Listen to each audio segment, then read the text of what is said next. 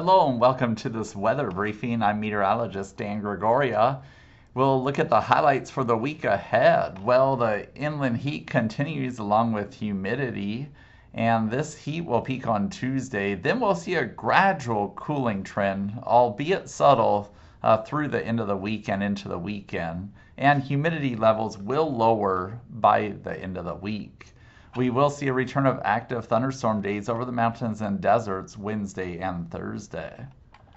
Here's a look at the high temperatures we expect for Tuesday triple digits over the lower deserts, high deserts, and parts of the Inland Empire.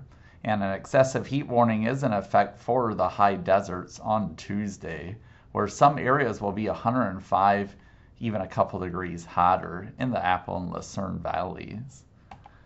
Here's a look at moisture. You see in Arizona and Baja, all that moisture is going to surge in here Wednesday and Thursday, and that's going to produce more active thunderstorms over the mountains and deserts. And then that moisture departs the area, and here we loop it again starting Monday. And in the Tuesday, the moisture increases, peaking over Southern California Wednesday and Thursday, and then you see it sliding and shifting off to the east late in the week for dry conditions then.